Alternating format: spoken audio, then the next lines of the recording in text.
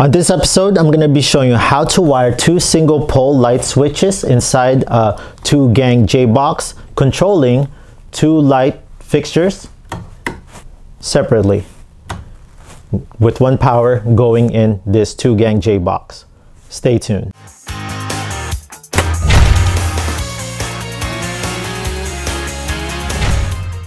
Welcome to Fix This House. If you're new to the channel, please consider pressing the subscribe and notification bell so you can always be in tune on DIYs, how-to videos, and product reviews that I do within this channel. Just a disclaimer, all the electrical videos that I make on this channel is for educational, informational, and entertainment purposes only.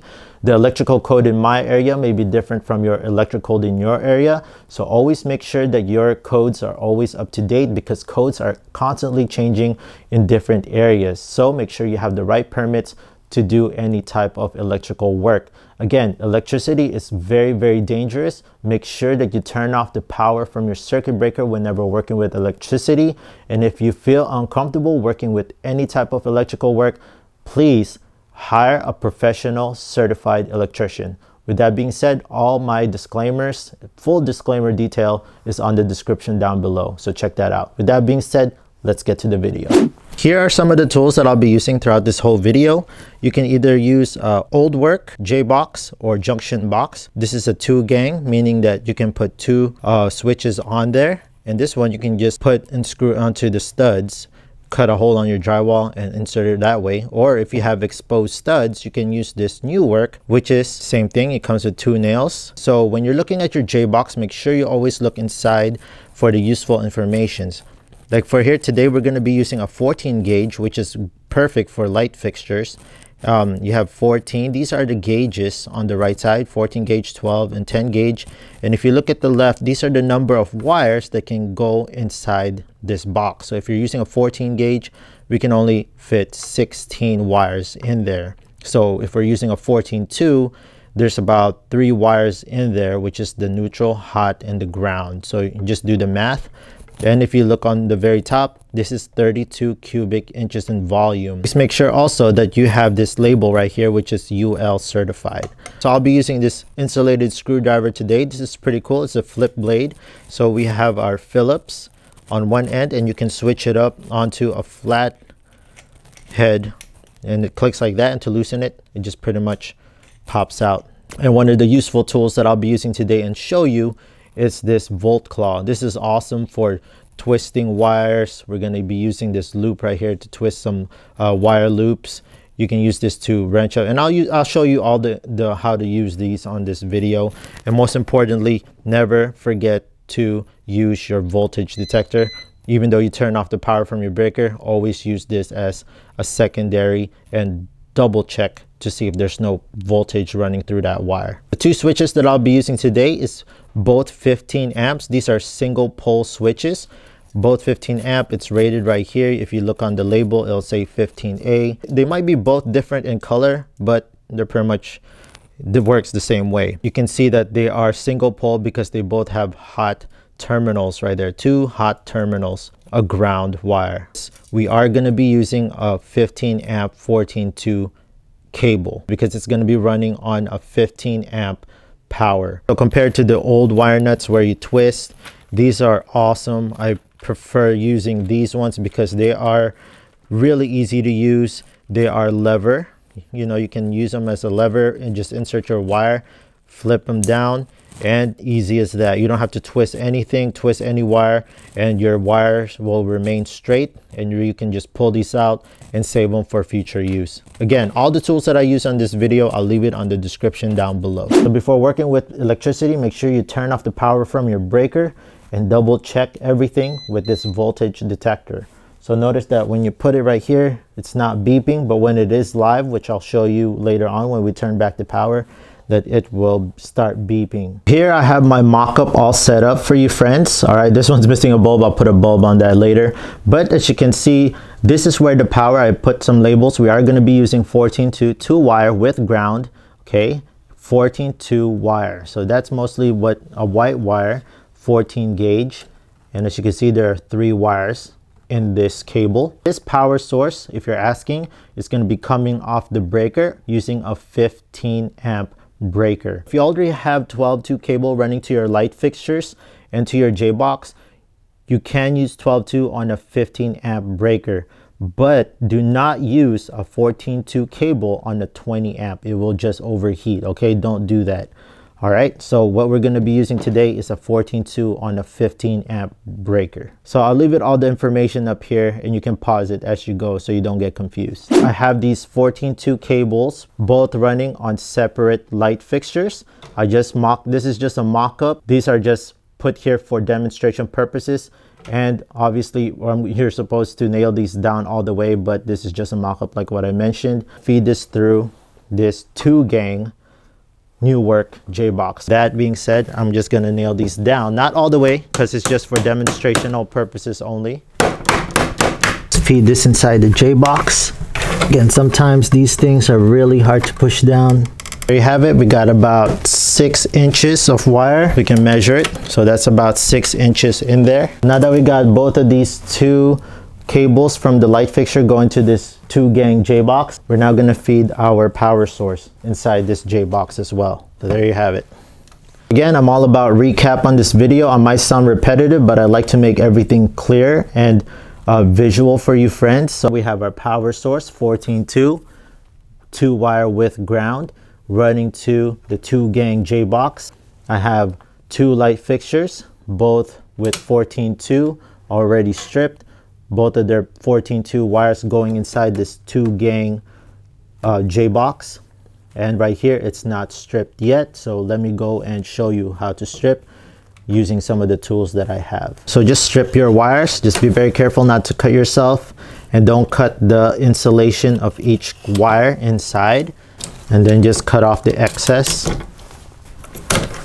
There you go. Now we got a little spider thing going on but we know exactly where each one is feeding through. Before you start any work, make it easier for yourself and start installing the pigtails first to make it easier for you. A pigtail, the two top terminals on each switch, top, top right there, and we're gonna pigtail the ground wire. So what we're gonna do is we're just gonna find a scrap piece of wire here. I got a 14.3 cable that I'm just gonna um, use for pigtail.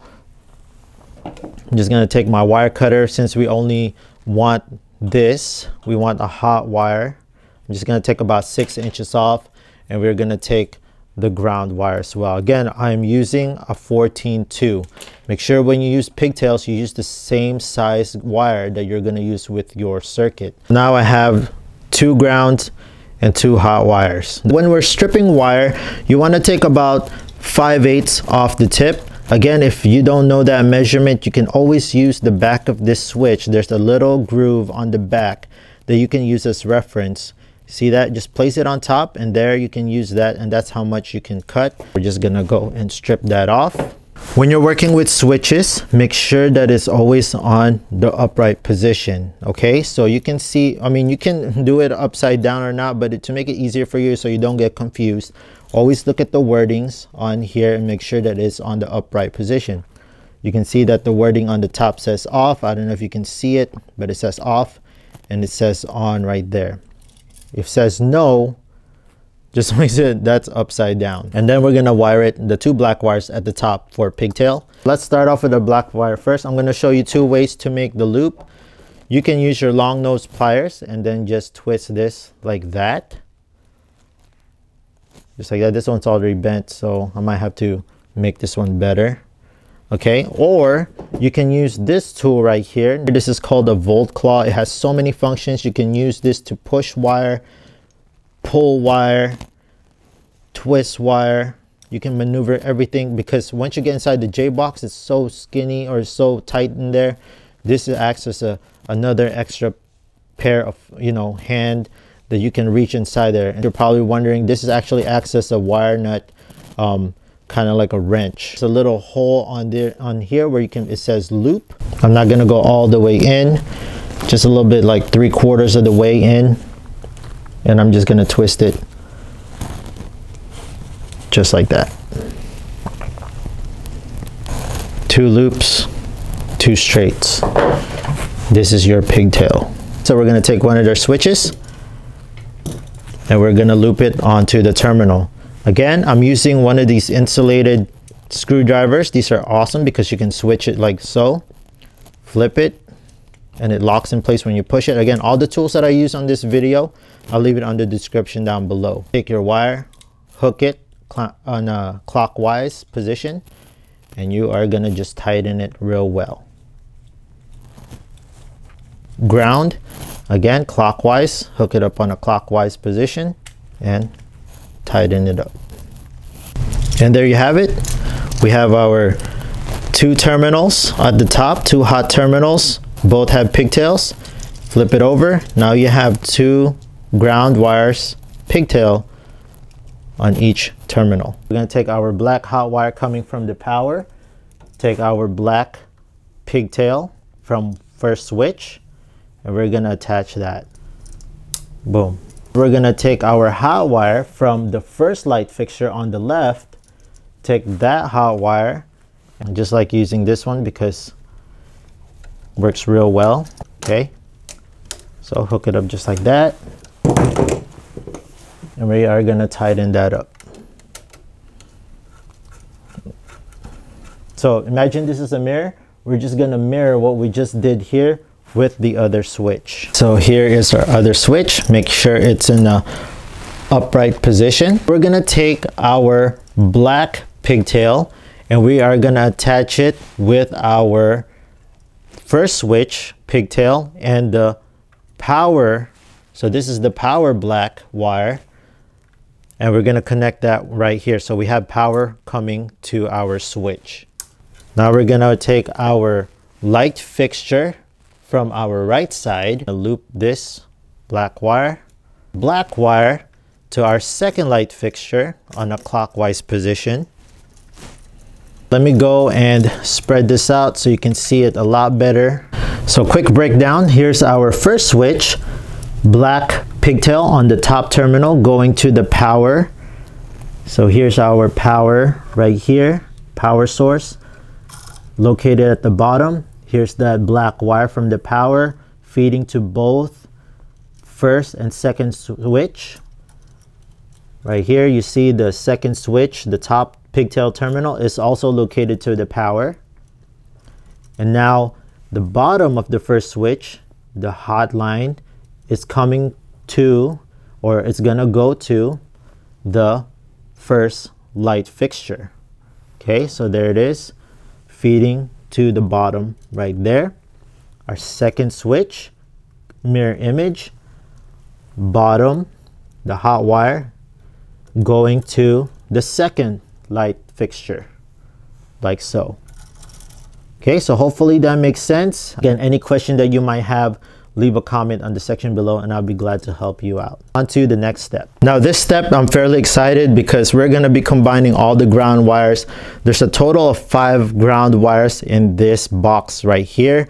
So we are going to be using a five lever Wago. One, two, three, four, five. Here's a tip. Make sure that you orientate and uh, run the ground wires in a nice and neat manner. Don't just put one here, there, there, like kind of like a spider web.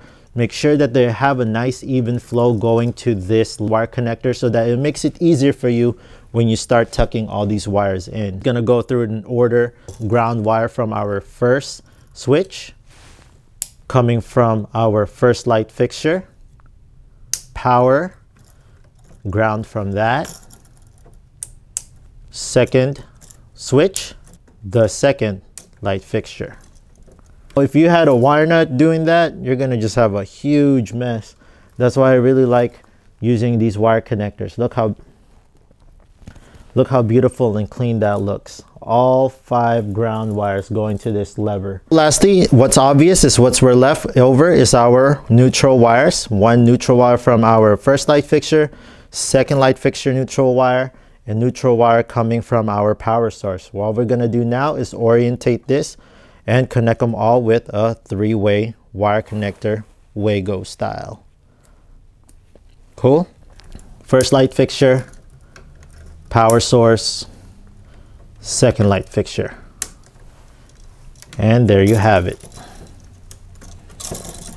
You can uh, pause the video, screenshot this any way you want. I'll try to make it as spread out as possible to make it um, easier for you. Pushing in wire, I like to use my volt claw. One end on this volt claw where you use it as a push. Than using your nice soft baby fingers and damaging and poking it through there, you can use this as a alternative and you can use that to push the wire in, you know, help help orientate the wire. And you can also use the other end to twist some wires in there and orient it as the way you want to, okay? So just one of the tools that I keep for wiring and I, I find it very, very useful. Okay.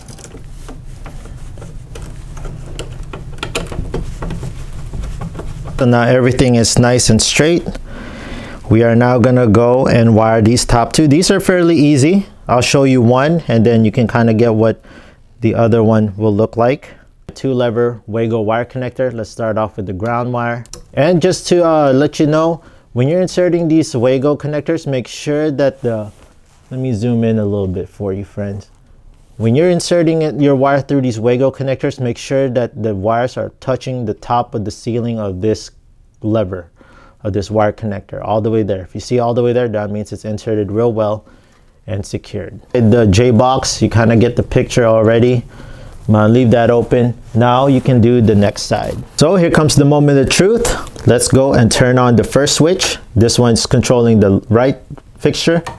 This one's controlling the left fixture. So that's how you pretty much wire it, friends. They work independently, but both are on the same J-Box, two gang, and one power going through all of them. If you have any questions on any of the wiring, please leave a comment down below. Let me know in the comment section what video you want to see next regarding electrical. And once again, friends, always check with your electrical codes in your area because codes are constantly changing. My electrical code and your electrical code might be different. Make sure you have the right permit to do all this work and all these videos that I make for electricity in my channel is for all for educational, informational, and entertainment purposes only. Check out my full disclaimer on the description down below. All the tools that I use in this video, I'll leave the links on the description down below as well. All right, friends, thank you so much. Be safe and stay tuned for the next one.